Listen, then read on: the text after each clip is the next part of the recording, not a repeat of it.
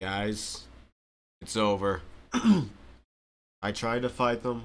We we couldn't do it. Uh, no matter how hard I was stating the facts, I, no matter how hard I was coping, we couldn't stop it. Uh, Lin Kuei and all that. I mean, yeah, so, yeah, Smoke is he, he's he is very similar to what we've seen before. The big difference is that we are playing up the relationship that he had with uh, Liang, uh, Scorpion, um, and there we go. From this interview, Scorpion is now confirmed to be Kuai Liang.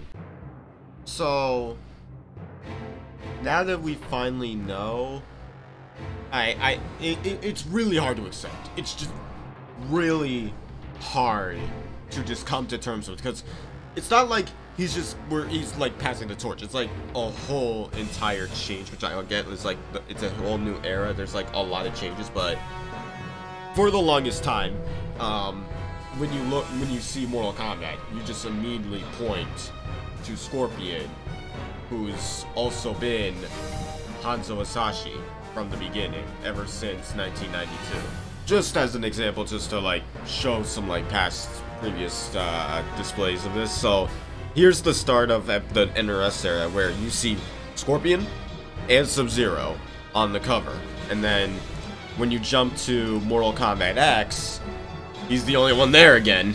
He's, he's the only one there un unless you like get XL, which actually has everyone there. But remember, he's right on the cover, right there, right position there. And then we jump to 11, still on the cover.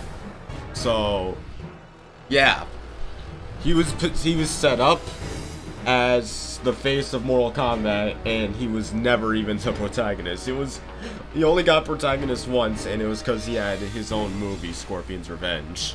His story has always been like something that's just been big or like um, a, a unique trait for his character. It's like the thing that's always been behind who he is and why he's like this, why he's like angry, why he's this specter seeking vengeance, because he lost his family and his clan all to a sorcerer and what that was thrown, that was blame thrown onto Sub-Zero. It was this string of events that totally created this whole character.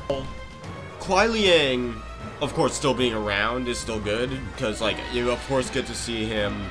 Um, get we actually get to see interactions with his brother, which I am curious to see, but it's it's like it, it's also weird because when you when you go back and think about it, Kuai never really had his like own like his own character to call himself because he only became Sub-Zero because his brother was Sub-Zero, and now because uh, he's taking Scorpion's title in a way. Like I know he's not like actually taking it away, but he's like taking that title in, in his way. So it's like it's weird to like see him not be like his own character in his own way because like we the only time I'd say you had something like that was um for like a brief time I'd say in between Mortal Kombat 2 and I'd say Mortal Kombat 1 because you do hear that Kuai Liang was around in the background at least because he did go under another code name which was Tundra but that was it. He, he wasn't like he, um, he then adopted the name Sub-Zero after Bi-Han was killed so he didn't really have like any other unique name for himself later on but yeah, now I really need to at least know what shall happen with Hanzo. Because will, will, will his clan be around? Or will he just like be his like own separate people living in like living like a peaceful life now? Is that what Liu Kang did to him? Or are we gonna expect something else? Because we, we don't know if there is a Shirai Ryu that exists in this new era still. We don't know. So it's very hard to say what will happen because this is there's one weird thing now. It's it's weird because we just now got um like an announcement for the Kombat Pack, and right there, we see Takeda Takahashi. So, and he has he has yellow on his palette. He has yellow on his palette. So, is he going to be Shirai Ryu? Or is he going to be Lin Kuei? Or is he just going to be his own clan or whatever? Or is he going to be part of Kenshi's clan? Uh, What is what is going to happen to it is going to be very interesting. I'm I'm not sure how they're going to handle it because they keep in mind they did give stories to the DLC characters in 11 and I think maybe in X.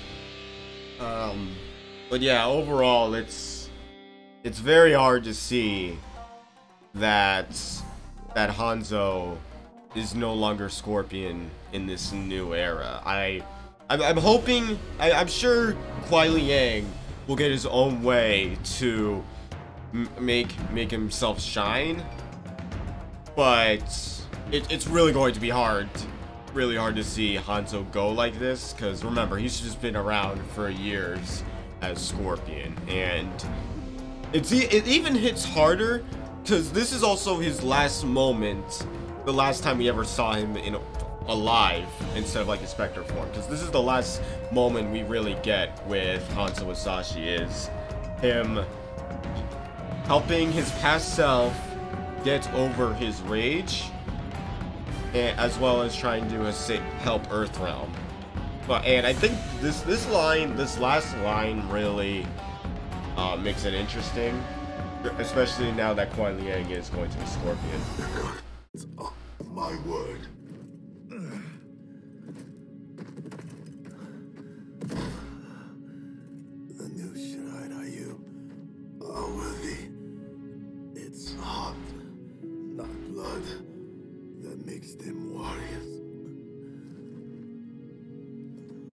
Rest in peace, Hanzo Hasashi. Rest in peace. I- I'm really hoping we see something for his character in this new era. Let let let me know what's what was your favorites Hanzo Hasashi Scorpion moments in the past years, and what do you think will happen with his story going forward? So let me know what you think. Thank y'all for watching, and long live the Shirai Ryu.